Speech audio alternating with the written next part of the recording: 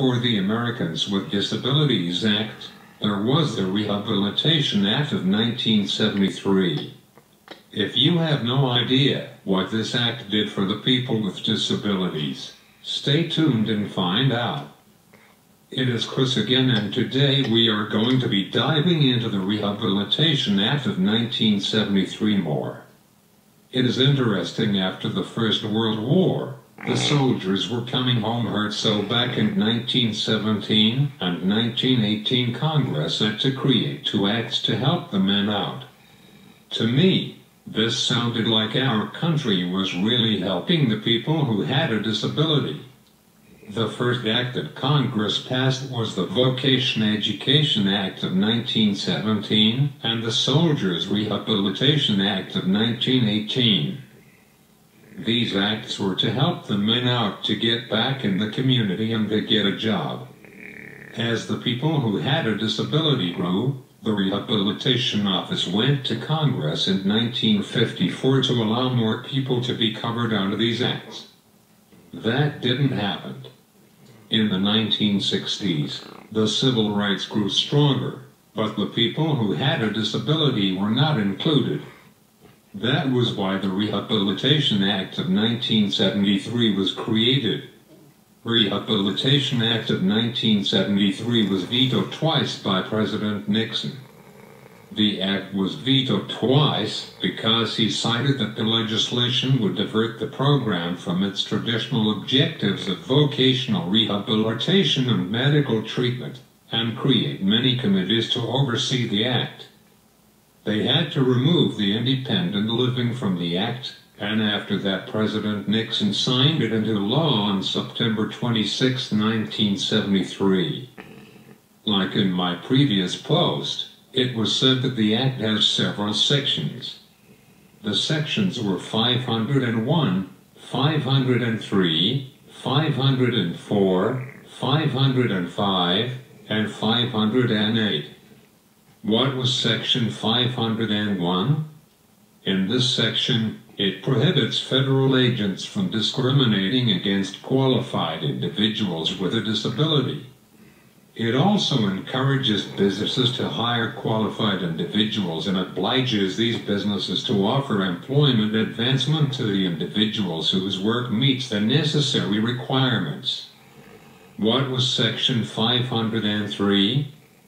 This is similar to the Section 501, but it is to deal with hiring, placement, and advancement of people with disabilities. It includes federal contractors and subcontractors. In 2013, they published a final rule that makes changes to this section of the Rehab Act. The new rule sets a utilization goal which basically means that all workforces and job categories should aim to have at least 7% of their employee population be individuals with a disability if in fact they are all qualified for their respective positions. This also includes contractors and subcontractors. What is Section 504? This section was not a part of the Act when it was signed. It was to make sure that there were reasonable accommodations for employees with disabilities, program accessibility, effective communication with people who have hearing and vision disabilities, and accessible new construction and alterations. Each federal agency has its own section of this section. The 504 of the Department of Health and Human Services makes sure that doctor offices and clinics are accessible. The United States Department of Education makes sure that students with disabilities receive the kind of education services to be successful in school. This section caused a lot of fuss around the United States because the lawmakers were not making any headway in trying to pass this section of the Act. People with disabilities were doing sit-ins around the country for days. After several weeks of having sit-ins around the country, the new Secretary of State Joseph Califano signed the section to be implemented into law. There is a good video tells you more about what happened. What is section 505? This section goes with section 501. It seems to deal with governing remedies and the attorney's fees. What is section 508? This section made sure that federal electronic and information technology to be accessible for people with disabilities.